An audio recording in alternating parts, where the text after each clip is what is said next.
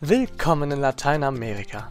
Schönes Wetter, tolle Landschaften und köstliches Essen. Darf ich Ihnen vielleicht einen Pina Colada anbieten? Oder eine lange Reihe von Staaten, die von einer Bananenfirma kontrolliert worden sind, aber tausende von Toten und die Region bis heute destabilisieren? Habe ich schon erwähnt, dass unser Pina Colada mit Fairtrade Kokosmilch gemixt wird?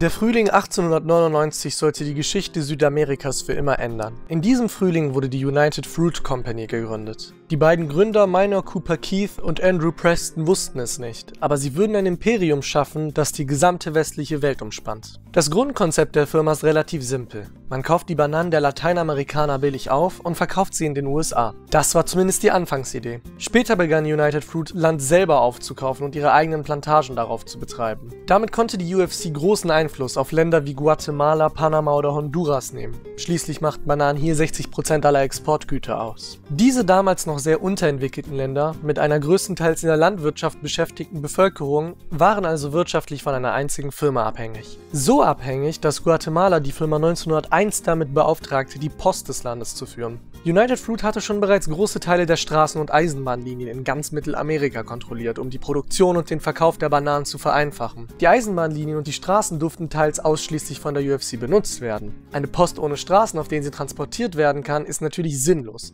Also war es für die korrupte Regierung Guatemalas die einzige Möglichkeit, irgendwie Briefe an ihre Bevölkerung zu senden. Im Grunde genommen sind Aktionen wie das Verkaufen der eigenen Post an die UFC eine Art Tauschgeschäft zwischen den Diktatoren der Länder und dem Konzern. Die Diktatoren sorgten für Ruhe unter den Arbeitern, zerschlugen Demonstrationen für mehr Rechte und die UFC agierte als eine Art Türöffner für die internationalen Märkte der Welt, die auf Bananen heiß waren. Dafür verlangte die UFC aber Land- und politischen Einfluss, zum Beispiel in Form von Kontroller wichtiger staatlicher Institutionen wie der Post. Vor der Post wurde aber nicht Halt gemacht. 1913 gründete United Fruit die Tropical Radio and Telegraph Company, womit sie alle Radio- und Telegrafenlinien Lateinamerikas kontrollierten. Für alle, die nicht wissen, was Telegrafen sind, scheiß Jugend von heute. Das sind diese lustigen Tippdinger, mit denen man durch Morsecode kommunizieren kann. Als ob das nicht schon genug wäre, kontrollierten sie mit ihrer eigenen Firmenflotte, der White Fleet, viele Handelswege und Häfen von und zu Lateinamerika, sowie die Stromversorgung vieler Länder. United Fruit spielte ein schmutziges Spiel, wenn es darum ging, ihre Profite zu steigern. Sie bestach und unterstützte verbrecherische Diktatoren, beutete ihre Arbeiter aus und unterdrückte Opposition, wo sie nur konnte. Die Diktatoren kamen dem gerne nach, denn der UFC im Weg zu stehen bedeutete den eigenen Untergang. Ihr zu helfen aber die Sicherung der eigenen Macht. Diese Strategie, die man eigentlich heutzutage nur von Drogenkartellen kennt, scheint funktioniert zu haben. Im Jahre 1930 war die United Fruit Company der größte Arbeitgeber in ganz Zentralamerika. Sie besaß 3,5 Millionen Hektar Ackerland, verteilt über die gesamte Region und der Karibik. Das ist eine Fläche, die größer ist als NRW. Und das alles nur für Bananen? Auch, aber zum größten Teil um die Länder, in denen die Firma operierte, zu erpressen und um mögliche Konkurrenz den Boden vorher wegzukaufen. Die einheimische Bevölkerung litt darunter unheimlich. Da das meiste Ackerland bereits an die UFC verkauft wurde, sah sich der größte Teil der Bauern dazu gezwungen, entweder für die UFC zu arbeiten oder schlicht zu verhungern. Eine kleine reiche Schicht an Eliten, also Verwalter, Beamte und Plantagenaufseher zum Beispiel, waren die einzigen Profiteure. Neben United Fruit selber versteht sich. Wenn jemand den größten Teil des Ackerlandes kontrolliert und man ein Land ist, was auf Landwirtschaft basiert, dann kann man natürlich nur beten, dass diese amerikanischen Bananenfetischisten nett zu einem sein werden. Ich will nichts vorwegnehmen, aber wahnsinnig. Natürlich saßen weder die Bevölkerung noch die Politiker Lateinamerikas dumm rum und ließen die UFC einfach so passieren. Leider scheiterten aber die Regierungen der Länder daran, die Macht der Firma zu untergraben. Hierzu einmal vier Beispiele. Das erste Opfer der United Fruit Company sollte der Präsident von Honduras, Miguel Davia, sein. Er war der Nachfolger von General Manuel Bonilla, einem Mann, der im Grunde genommen eine Marionette der UFC war. Als Davia 1907 an die Macht kam und sich nicht so tief für die UFC bücken wollte wie sein Vorgänger, sah sich der Konzern gezwungen zu handeln. Mithilfe von Bonilla, dem amerikanischen General Lee Christmas und einer eigenen kleinen Privatarmee mit Tonnen von Munition stiegen die Männer 1911 auf die Firmenjacht der UFC, fuhren nach Nord-Guatemala und nahmen wichtige Häfen im Norden ein. Die Möchtegern-Piraten hatten sogar Erfolg mit ihrem Plan, weil Davia mit seiner nicht vorhandenen Flotte nichts ausrichten konnte. Er sah sich gezwungen, als Präsident abzudanken. In weniger als einem Jahr war Bonilla wieder an seinem Platz zurück zurück. Und was war das Erste, was er tat? Richtig. Er gab der United Fruit Company große Steuerfreiheiten, Land zum Bananenanbau und die Rechte an großen Teilen der Eisenbahnverbindung des Landes. Als kleines Dankeschön. Ist ja nett. Am 6. Dezember 1928 in Ciénaga, Kolumbien, sorgte die United Fruit Company direkt oder indirekt, die genauen Details sind nicht klar, für ein Massaker an 1000 Streikenden, darunter Frauen und Kindern. Die Arbeitsbedingungen waren furchtbar für die Plantagenarbeiter. Also protestierten sie schon seit einiger Zeit. Ihre Forderungen sind sogar für heutige Verhältnisse mehr als nur selbstverständlich. Eine Krankenversicherung, einen freien Sonntag und eine anständige Bezahlung. United Fruit bezahlte nämlich nicht in Geld. Nein, das wäre ja normal. Sondern in sogenannten Scripts. Das sind Wertscheine, die nur in den Läden von United Fruit eingelöst werden konnten. Man stelle sich vor, dass Amazon seine Mitarbeiter mit Amazon-Gutscheinen bezahlen würde. Im Grunde genommen ist es eine nette Art der Sklaverei. Die Bauern schufteten sich zu Tode und bekamen als Belohnung etwas zu essen und zu trinken von der Firma. Die kolumbianische Regierung fürchtete ein Eingreifen der Amerikaner. Diese waren nämlich kurz davor, Kriegsschiffe loszusenden, um die Interessen der United Fruit Company zu schützen. Die USA waren also absolut für Freiheit, die Freiheit Lateinamerikaner auszubeuten. Damit Kolumbien nicht von der USA bombardiert wird oder die Plantagenarbeiter wie normale Menschen behandelt werden müssten, also das wäre ja, sendete der kolumbianische Präsident Miguel Mendes die Armee nach Ciénaga, die daraufhin das Massaker an den 1000 Arbeitern, Frauen und Kinder verübten. 1951 wurde Jacobo Arbenz Präsident von Guatemala. Er war der Hoffnungsträger der Nation, da er versuchen wollte, das Land in einen und vor allen Dingen von den USA und der United Fruit Company unabhängig agierenden Staat zu verwandeln. Mit dem Dekret 900 hat Arbenz der UFC den Krieg erklärt. Diese Landreform sorgte dafür, dass United Fruit 40% aller seiner Ländereien an den Staat abgeben sollte, welcher es wiederum an die einheimische bäuerliche Bevölkerung verteilte. Das Land, welches genommen war, war größtenteils sowieso unbenutzt. Und trotzdem gab Arbenz United Fruit für jeden Hektar Land 3 Dollar, 40 Euro in heutigem Geld. Das Doppelte von dem, was das unbenutzte Land die UFC beim Kauf gekostet hatte. Und trotzdem war der Konzern unzufrieden mit Arbenz, da er tatsächlich kein korrupter Politiker war, der für United Fruit als Marionette dienen wollte. Daher begann die Firma eine dreijährige Rufmordkampagne gegen den Präsidenten und warf ihm vor, ein Kommunist zu sein. Man muss bedenken, es sind die 1950er, mitten während des Kalten Krieges. Die Lager kapitalistischer Westen und kommunistischer Osten waren gespalten wie eh und je. In Amerika war man gegenüber jedem ansatzweise kommunistisch aussehenden Politiker kritisch eingestellt. Man addiere die Rufmordkampagne von United Fruit und bam, die USA handelte. Die CIA trainierte eine private Söldnergruppe von ca. 150 Mann, die von Honduras aus, inzwischen ein amerikanischer Satellitenstaat, in Guatemala einmarschierten. Um ein Blutbad zu vermeiden, dankte Arbenz ab und musste nach Mexiko fliehen, wo er 1971 starb. Sein berühmtestes Zitat ist wohl dieses hier. Unser einziges Verbrechen bestand darin, unsere eigenen Gesetze zu erlassen und sie ausnahmslos auf alle anzuwenden. Unser Verbrechen bestand darin, eine Agrarreform in Kraft zu setzen, die die Interessen der United Fruit Company beeinflusst. Unser Verbrechen ist es, unseren eigenen Weg zum Atlantik, unseren eigenen Strom und unsere eigenen Häfen zu besitzen. Unser Verbrechen ist unser patriotischer Wunsch, voranzukommen, Fortschritte zu erzielen und wirtschaftliche Unabhängigkeit zu erlangen, die unserer politischen Unabhängigkeit entspricht. Wir sind verurteilt, weil wir unserer bäuerlichen Bevölkerung Land und Rechte gegeben haben.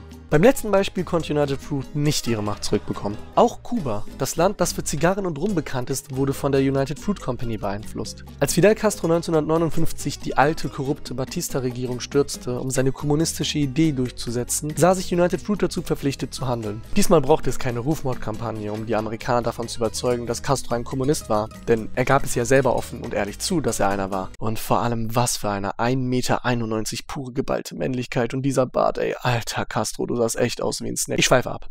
Also, die Amerikaner planten eine Invasion auf Kubas sogenannte Schweinebucht, bei der sie das kommunistische Regime stürzen würden, um den korrupten, aber amerikafreundlichen Batista zurückzuholen. Auch ohne United Fruit wäre es wahrscheinlich hierzu gekommen. Aber natürlich waren sie auch ein großer Motivator für die amerikanische Regierung. Die Invasion hat nicht geklappt, da der Plan furchtbar exekutiert wurde. Castro wurden die Pläne zuvor geleakt, die Boote, die genutzt wurden, wurden an den kubanischen Korallenriffen beschädigt und die kubanische Luftwaffe konnte die Kontrolle über die Lüfte behalten. Ein sehr großer Teil der Boote stammte von United Fruit und ihrer White Fleet. Die Schweinebucht-Invasion sollte einer der entscheidenden Gründe dafür sein, dass die Kubaner später sowjetische Atomraketen auf ihrer Insel stationierten, direkt in der Nähe von Amerika, woraufhin die Amerikaner ein Handelsembargo gegen Kuba verhangen und sie über See absperrten, woraufhin die Sowjets Warnung aussprachen und die Amerikaner auch und es ist immer schlimmer geworden und so wurde fast die gesamte Welt in einen nuklearen Holocaust vernichtet und die gesamte Menschheit hätte aufgehört zu existieren. Und Bananen haben dabei eine Rolle gespielt. Bananen.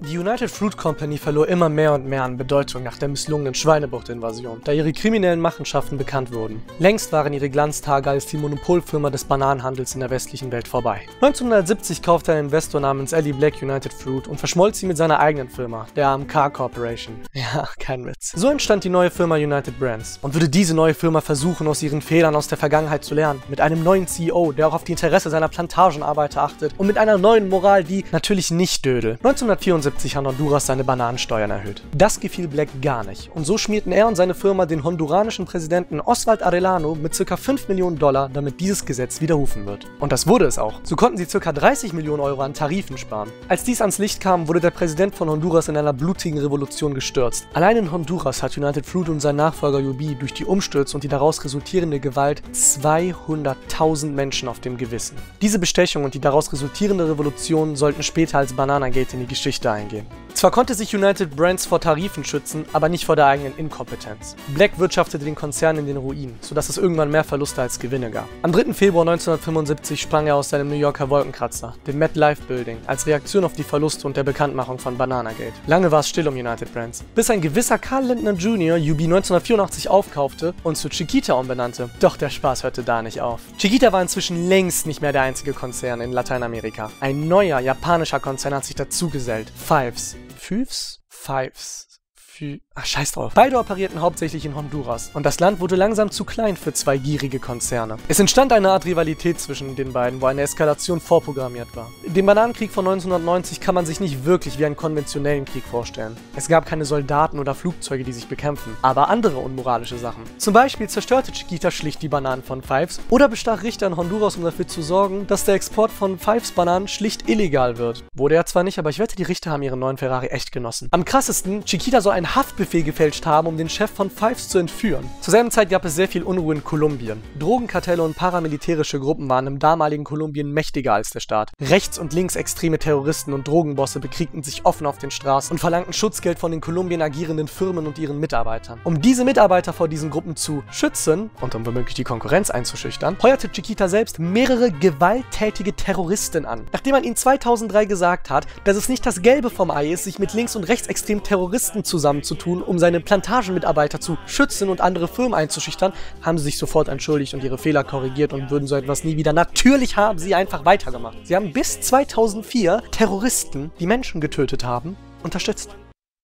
Okay, sie haben sich danach entschuldigt und 25 Millionen Dollar Schadensersatz gezahlt, also ja, es ist ja quasi nicht so schlimm. Hätte Osama Bin Laden gewusst, dass man so einfach mit Terrorismus davonkommt. Ab 2004 begann Chiquitas Umwandlung in den lieben und sympathischen Konzern, den wir heute kennen. Heutzutage operiert Chiquita in 70 Ländern und erzielt Umsätze im Bereich von 3 bis 4 Milliarden Euro. Viel vom ehemaligen korrupten und verbrecherischen United Fruit Image ist nicht mehr geblieben. Die meisten Chiquita-Plantagen unterscheiden sich in Qualität und Umweltstandards kaum von denen der Konkurrenz. Man sollte aber eins bedenken. Wenn du zunächst mal zu einer Chiquita-Banane greifst, dann denk einfach daran, dass diese Bananen den Tod von mehreren hunderttausend Menschen bedeuten, dass diese Bananen Leid über ganz Lateinamerika brachten und dass diese Bananen dazu beigetragen haben, fast die gesamte Menschheit auszulöschen. Guten Appetit!